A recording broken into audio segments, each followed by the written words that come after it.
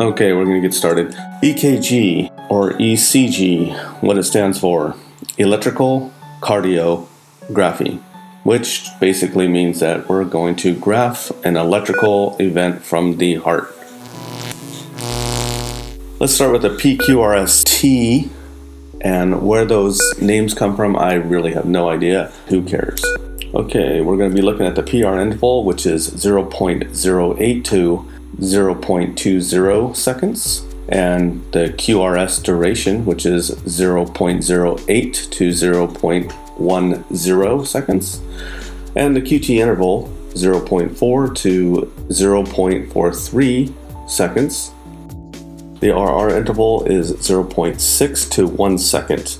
Now, where am I getting all these values? Well, if you look at these boxes here, there's going to be smaller boxes and then a larger box. Each smaller box is 0.04th of a second. So five of these boxes are in one large box, which comes out to 0.2 seconds when you add all five boxes up. Then when you add 0.2 to five large boxes, then we have one second in time. So that is how we are able to calculate the time for all these different waves. Let's look at what this means uh, when it relates to cardiac electrical activity of the heart.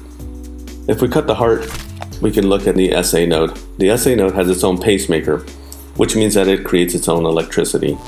That electricity goes through the top chambers of the heart, both the right and left atria. Then it stimulates the AV node to send electrical current down through the right and left ventricles. It's important to understand that the electrical activities of the heart do not always correlate with the mechanical activities of the heart. You can have what's called pulseless electrical activity, which is PEA.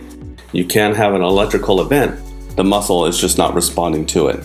Don't worry about that now. We'll get into that when we get into abnormal rhythms of the heart. I started this lecture by going over the time intervals of the electrical activity in the heart, and I want to make more sense of that now. We're going to start with the first degree heart block. There are actually three different types.